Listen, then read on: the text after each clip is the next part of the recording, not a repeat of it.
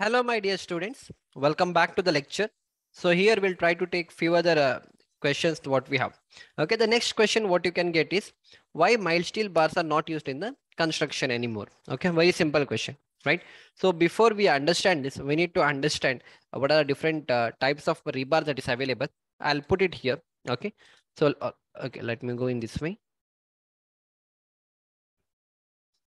Wait.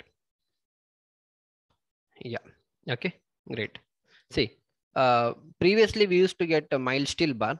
Okay, mild steel, mild steel. After that, we started to make use of HYSD rebars. Uh, then we started to make use of TMT rebars. Okay, and now nowadays we get TMX also. Okay, great. So mild steel. After that, we started to get HYSD rebar, and now we are getting TMT or TMX bar. Okay, great. Now the question is that why is that we are not using this mild steel rebar? Okay. And answer for that is first, mild steel bars don't have much yield stress when compared to HYSD or TMT bars nowadays. Got it? That is about the yield stress, right? Uh, because mild steel we were getting only up to Fe250. Beyond F Fe250 we were not getting mild steel. Then we started to go with 415, 500, 550 and today we have 600 also but that is all possible because of this HYSD and TMT rebar. So if you wanted uh, more yield stress, then T, uh, your mild steel was not able to do that. So that is why we shifted from mild steel to HYSD or the TMT bar. The mild steel bars don't have a ribs on it unlike HYSD or TMT bar. Like you can see it in the image you see. These were my mild steel bar. They were very plain, isn't it? Plain rebar. Whereas nowadays, if you look at the rebar, which can be a TMT or TMX or HYSD, you can see a lot of ribs here so these are the rips what we have given there. Earlier in the mild steel, this was not there. If this is not there, what will happen? There won't be a good bonding between the concrete, right? Because that is the reason uh, we are not uh, using mild steel anymore. Next is mild steel have low percentage of carbon content, which results in giving less strength, but it's more ductile when which become helpful in the production of pipes and pipe fitting. That means this mild steel, see one thing you need to understand, why is that the uh, rebar is uh, strong and all? Right? Because the reason is that we have carbon in that. The more the carbon content, the greater is the strength to that. So that means if I take a Fe415 and Fe500 rebar, tell me which one will have more carbon content? The one which has more strength. So compared to 415 and 500, 500 has more yield strength. So that means the carbon percentage is also more. Now compared to 550 and 600, which one will have? Of course, 600 will have more strength. So there is more carbon in that right so that is how, uh, how that is what that is uh, you know uh, composition uh, what we put uh, when we prepare such kind of rebars the question is that the more the carbon content the less is the ductility. Got it? Got it? What, what i'm trying to tell? The more the carbon content the less is the ductility. Remember why did we start to use uh, rebars initially? Because they were ductile in nature. Good. But now what has happened? The higher the grade the lesser is the ductility. So that is why you can see mild steel have low percentage of carbon content, which results in giving less strength, but it's more ductile. Why it is more ductile? Because carbon content is very less. If the carbon content is very less, of course, the ductility is going to increase, right? Uh, so that is why mild steel, we nowadays, we use it in the pipes and the pipe fitting, right? Great. Hardness and toughness of mild steel bar is less as compared to TMT bar. Of course, hardness and toughness usually comes to that carbon content because more is a grade, more will be a toughness and more will be the strength. So that is why that is another reason. Most importantly, it is not resistant to corrosion. So it is advisable not to use in the construction. The another reason, the prime reason is that this mild steel, they're not resistant to corrosion. Whereas your HYSD TMT bar, they're resistant to corrosion. I mean, they resist, I mean, they can resist the corrosion. So that is another prime reason. Due to its plain surface, friction is less and it doesn't bond well with the concrete, which I already told. You can see it's a plain surface what we have. Here we have ribs, okay? If you're not able to pick my words, it is called as ribs, right? So this is called as ribs. So as a result of that, what will happen? A good friction will happen between the concrete and the rebar. They can be used in stirrup, in beams, lateral ties in column. That means this, uh, what is that? Uh, yeah, a mild steel can be used in the stirrup and all. It's not required. Forget about this point. Leave it. Not required. Okay. We'll not make it complicated. And yeah, we don't use mild steel also for the stirrup and all. We use this only. Got it? Yeah. So if they ask you why mild steel is not used, you can tell two to three uh, answers. I'll quickly repeat it. We can tell uh, the first reason is that uh, they don't have much yield stress when compared to HYSD and the TMT bar. Second is that you can say very important thing, they're not resistant to corrosion. Second point. Third point you can say, since they have plain surface, they don't have a rip surface, there won't be a good friction and there won't be a good bond between the concrete and the rebar. Three points if you tell, it's well and good. If you can remember all other points, it's well and good. If not, no issues. But try to understand the concept and try to understand about the uh, the ductility and the carbon content. The greater the carbon content, more is the strength, more is the toughness, but less is the ductility. So in mild, if they, they may ask you one question, out of mild steel and HYS rebar, tell which one is ductile. Very simple. Mild steel is ductile, uh, is more ductile compared to the HYS rebar. If you ask you one more question, can you tell me the reason behind that? You can tell, sir, uh, more the carbon content, the ductility is going to come down. So HYS rebar has more strength compared to the mild steel. So since it has more strength, the carbon content is more, so the ductility will be less in that. Whereas here the strength itself is less. So what will happen uh, since the strength itself is less, what will happen? The carbon content is less. And if the carbon content is less, the ductility is going to increase. Very simple and explanation you can do. Got it? Yeah. Now we'll go to the another question. Very uh, interesting question. Where do we place main rebars in cantilever and where is tension in that beam? Okay. So first, uh, first try to understand we have different types of beams, right? We have simply supported, we have cantilever, and then we have fixed beams, and then we have overhanging beam. Practically all the beams what we have, uh, what we see in the construction is all uh, fixed beam also, fixed beam, and they're not 100% fixed. 100% fixed beam, 100% simply supported beam is never achievable on the site, right? So there's a more reason to that. It is not required, but still I'll explain you. Okay, anyhow. Uh, yeah, so we'll start with that. See, simply supported beam is practically not possible on the RCC unless you do proper uh, detailing of that. Okay, this much is understood. Try to understand. We have simply supported beam, we have cantilever, we have fixed, we have overhanging. Enough. All those prop beam and all uh, practically uh, we don't use it unless there is a need for that. Okay, you might have studied about prop beam and all. Uh, practically not possible. Got it? Yeah. So rebars or steel is always placed in the tension zone. First thing you need to remember, whatever steel we provide, we always place it in the tension zone. I'll ask you one question. In a simply supported beam, where is the tension? And in the cantilever beam, where is the tension? So just remember, and I'll come back to this question a bit later. Okay. In case of cantilever beam and or the slab, the tension is at the top. So the bars are placed at the top. I'll, I'll explain all this through a image. Just uh, stay with me. Okay. So wherever there is a tension, we are going to provide steel there. So in the cantilever beam, the tension is at the top. Since the tension is at the top, what we are going to do? We are going to provide the reinforcement at the top.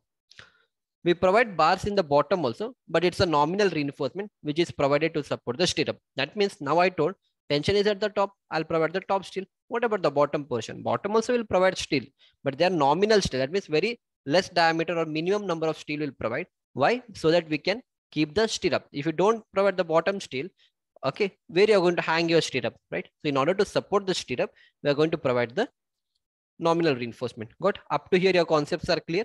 Yeah. Now we'll come to this particular diagram. Yeah. So look at this particular image now. Okay, this is a fixed beam, right? This end is fixed. And this is a cantilever beam now. Got it? Yeah.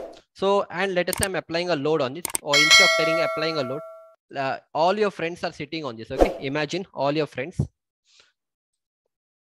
Wait, let me put it in this way and make it more funnier. Imagine all your friends are sitting on this. Okay uh, since they're sitting, we'll make something like that. Okay. Yeah. Your friends are sitting on this. Okay. On this beam. Your friends all are load who are sitting on this beam. Got it? Good. Now, so can I represent something like this? See, this is my fixed beam. Okay. Fixed support I have given. This is a beam what I have.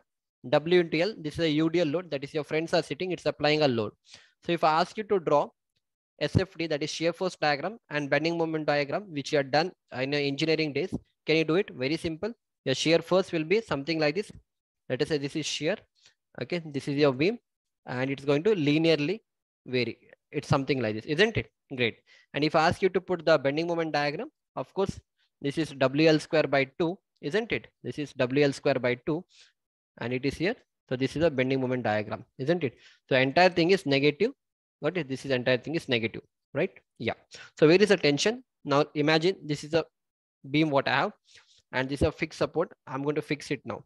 If I try to apply a load on it, what is happening? Look at the scale. The scale is trying to go up. That means tension. Where is the tension created? Tension is created up, right? So wherever there is a tension created, I'm going to provide the steel.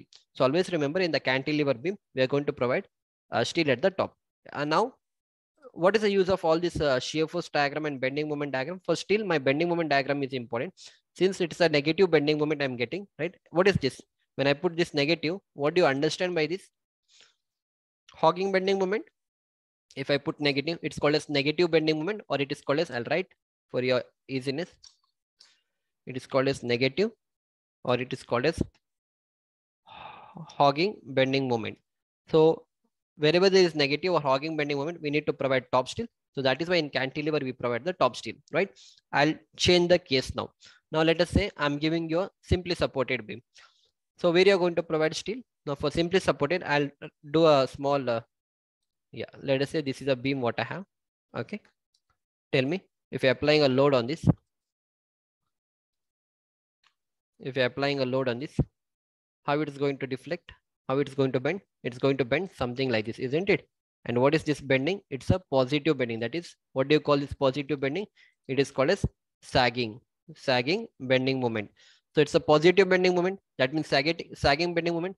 So I need to provide the bottom steel, right? Top steel is not required anymore. Why? Because it's sagging. That is positive bending moment. Positive bending moment means you have to provide bottom steel. So if you're putting a simply supported beam, in that case, your tension, your tension will be in the bottom. Okay. So there you have to provide the steel. Got my point? If it is a cantilever, you are going to provide it at the top.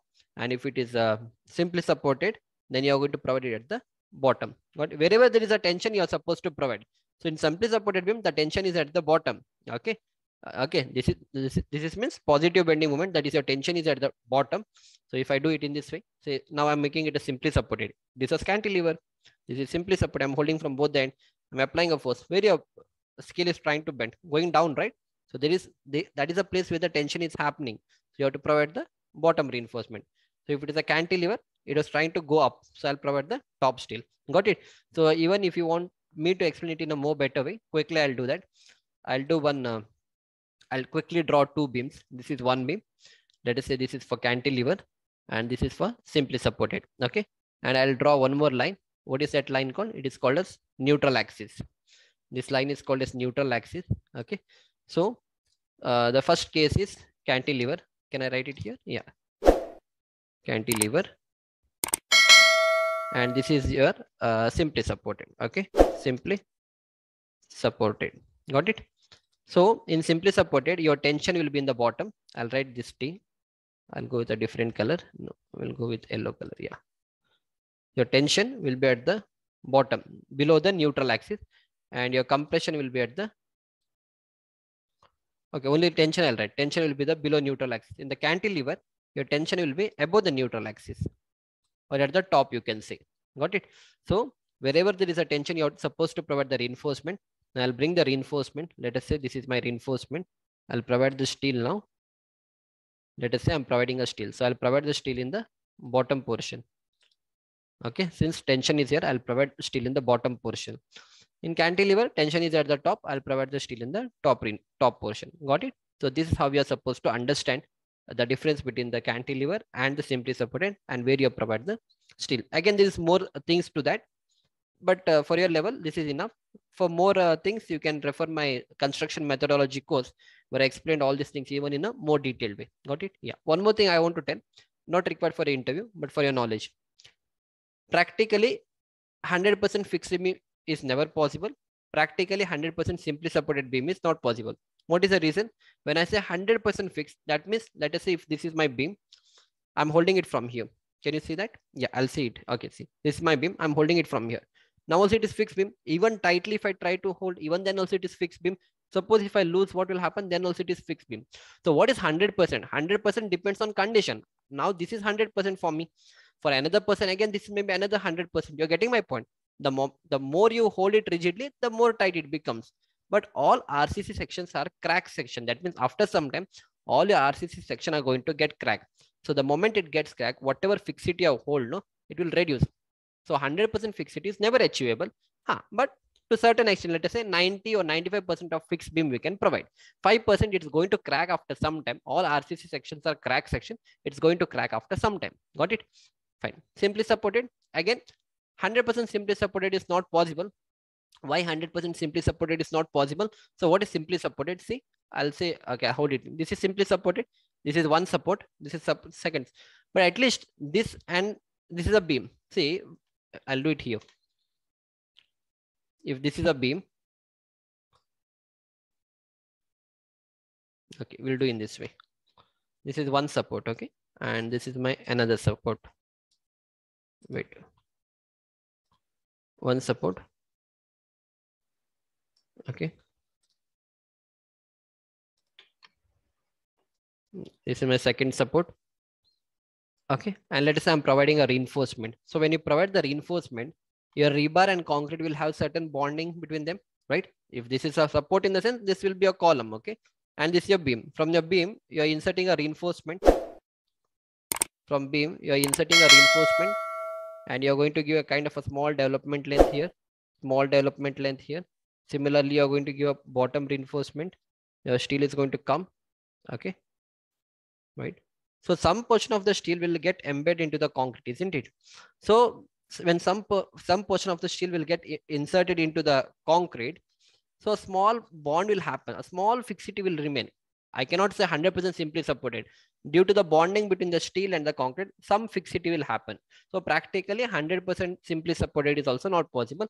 But we can say, okay, 90% simply supported. Okay, 90% simply supported in the sense, it will act like a simply supported, but there is a small bond between them. Okay, I hope you are able to understand, but it's a very deep level understanding what I'm trying to tell, which 95% of people don't know that. Okay, so that is what you need to understand, but not required in the interview level. Uh, for your knowledge, it's enough. Okay, great. So I think uh, two questions we have taken up about the cantilever and also about the uh, yeah about HYSD bar and all. Yeah. So I hope I was able to convey you most of the things. We were able to understand what is cantilever beam, what is simply supported, where do you provide the steel in the cantilever, where do you provide steel in the simply supported. And also we understood about the mild steel, HYSD, TMT bar. Got it? So we'll see you back in the next lecture. Thank you.